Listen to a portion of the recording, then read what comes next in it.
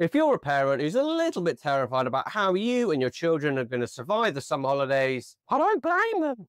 If the weather tends to be standard British summertime weather, the next 10 minutes might be the best investment you make this year. Tip number one, it's really important to set realistic expectations, both for you and for them. So for you, if you are basically staring down the barrel of a six week summer holidays, it's not all going to be plain sailing.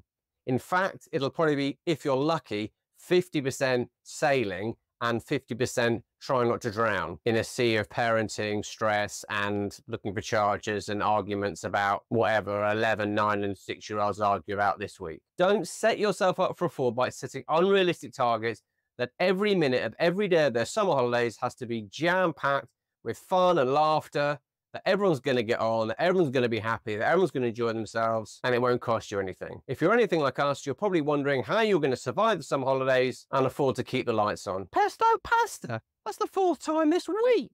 It's also really important to manage your children's expectations. No doubt they all have lots of friends whose parents have more money to underwrite six weeks of family summer holiday tastic fun. I just explained to my kids that money's tight at the moment that what their summer holidays might lack in plasticky, glitzy, rubbishy toys, it will be more than made up for in dad's efforts at trying to keep them entertained.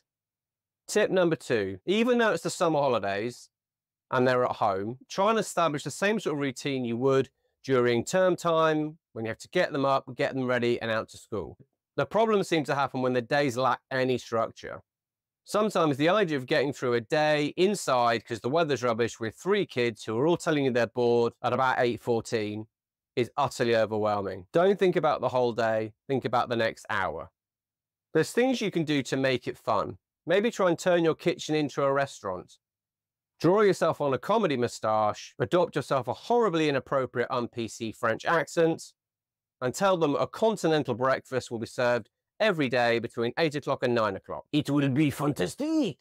I thought you were going for French. Having a routine will also help to explain to them they can't just sit on their gadgets all day. So maybe have breakfast and then they're allowed an hour of screen time. And then if you're lucky enough to have a garden, maybe 10 minutes of an activity outside before lunch, maybe another half an hour to an hour of activities or meditation or yoga or trampolining outside. Or if you live close to a park, maybe go to the park after lunch. Then maybe after that, allow them a bit more screen time. Then maybe get them involved with preparing an evening meal. Then maybe an evening meal, followed by maybe some card games. Then no doubt an hour of tears and questioning of the rules and who mum and dad's favourite is before bath, story, bed, and a massive drink for mummy and daddy. Tip number three, make sure to practice self-care. Those are the parents, whether you like it or not, as the oldest in the house, the authoritarian figures in the house, you are basically in charge of managing this family summer holiday extravaganza. That sounds terrifying. It is. With that in mind, it's really important that you take some time every day to keep your own sanity. If they're all on their gadgets and quite quiet, when one of you wants to go for a walk, that would be a good time. There's going to be activities that requires both parents' participation and there'll be activities that don't. Making sure that both of you have some time during the day to yourself, that you both don't completely lose your minds, is a really good idea. If the term parental self-care is something you've never heard of and you'd like to watch a video on it, you can click this link here. And tip number four for surviving the summer holidays, make sure to communicate effectively. This is a nice follow-on from the previous tip because it's very difficult to communicate effectively when you feel like you want to scream into a pillow. If your kids are having a massive argument or fight, the best thing to do is to separate them. But then take the time to make sure that you listen to everyone's side of the story so that all parties feel heard. With that in mind, it's important to try and listen to everyone about what they want to do that day. If you have more than one child, this will probably resonate, but it is absolutely impossible to keep everyone happy all the time. It just won't happen. So for example, in our case, if you have three children, you might have to think of three activities that each person wants to do per day. This is going to demand you to be creative, but you can totally do this. Do you really believe that?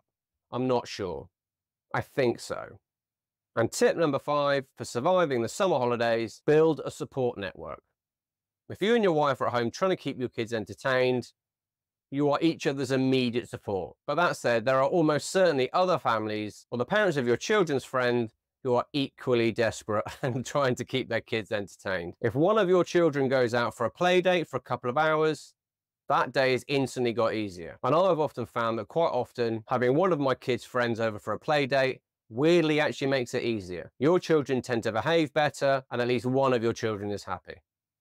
And tip number six, to completely contradict tip number two, make sure to be flexible. It is very important to try and plan as much as you can, but if you live in Britain, the weather might easily chuck a spanner in the works. It's probably more helpful to have a list of activities you can do when it's raining to when the weather's good. We're really lucky to live by the coast, so we're going to make sure that we have lots of days on the beach, probably with fairly inexpensive homemade picnics, so that really the only expense is a horrendously overpriced ice cream that is completely impossible to get them either to the beach or from the beach without them seeing. If the activities you've planned for the day as team leader, summer holiday extravaganza project manager, and bizarrely your three children have managed to agree on something else they want to do, then go with that. And tip number seven for surviving the summer holidays, focus on the positives. If the majority of the day goes well, apart from one argument two minutes before bedtime, that's been a good day. Being a parent is not easy. Being a parent trying to entertain your children while maybe also work from home during the summer holidays pretty impossible. Be kind to yourself. Celebrate the wins. I almost guarantee it that there'll be times during the next six weeks summer holiday where you do not feel like putting a positive spin on it. But as the commander of chief, head honcho, project manager, you have to. You need to celebrate all the victories, however few or far between they might be, and the positive moments. Maybe take some video clips, and at the end of each week or the end of each day, create a little film about your summer holidays. That also might be a really good way to help them get entertained. They can do the filming. You might even be able to teach them a very useful skill of editing. And you might find that's a really helpful way to pass some time in the summer holidays. And this segues beautifully onto tip number eight. That's convenient. The summer holidays is a great opportunity to teach them some responsibilities. I remember summer holidays earning lots of pocket money by watering flowers, making beds, cleaning the house, may have children that this would appeal to, who won't question the hourly rate. The Geneva Convention would have you over a barrel. Getting kids to help make meals, clean up, walk the dog, create their own activities, might really inspire them, teach them some life skills, and more importantly, take the pressure off you and your partner. And tip number nine for surviving the summer holidays, prioritize quality time together. If, like me, you've got an 11 year old, a nine year old, a six year old, or children near to those ages, you may well find you've just become cringy dad.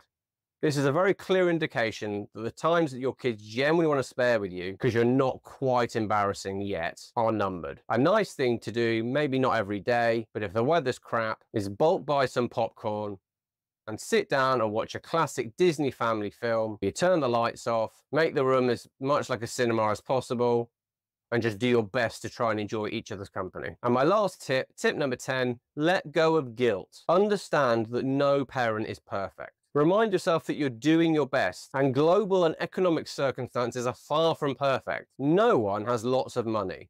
Trying to do anything is incredibly expensive, way more than expensive than it used to be.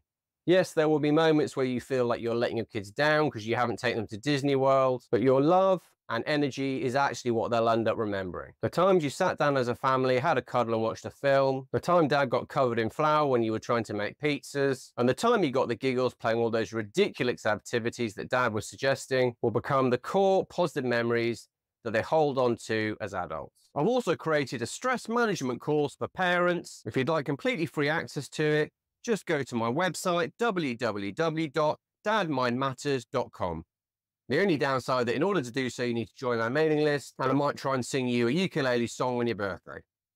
I really hope you got something this video, and if you like what I'm trying to do to support other parents, please share it with someone and maybe even think about subscribing. Worst case scenario, if I start annoying you after a month, you can always unsubscribe. That's what I did. Wherever you're in the world, you're okay. Take care.